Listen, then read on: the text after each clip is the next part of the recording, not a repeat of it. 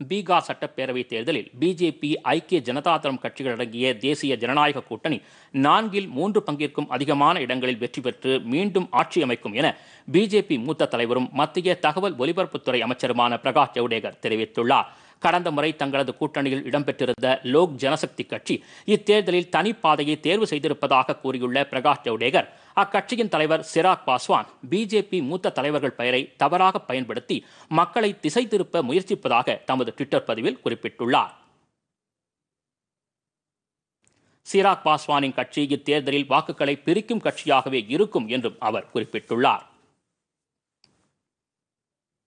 பொதிகை செய்திகளை யூடியூபில் தமிழ் நியூஸ் தூர்தர்ஷன் என்ற சேனலிலும் முகநூலில் டிடி பொதிகை நியூஸ் என்ற பக்கத்திலும் ட்விட்டரில் டிடி நியூஸ் சென்னை என்ற பக்கத்திலும் இன்ஸ்டாகிராமில் டிடி பொதிகை நியூஸ் என்ற பக்கத்திலும் காணலாம்.